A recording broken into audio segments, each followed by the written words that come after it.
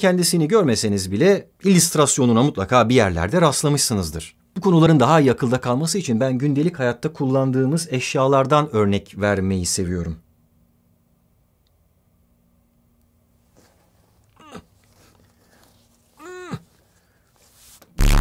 Bu benzetebiliriz.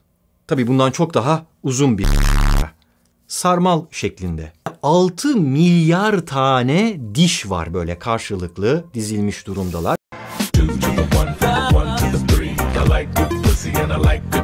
Smoke so much weed you wouldn't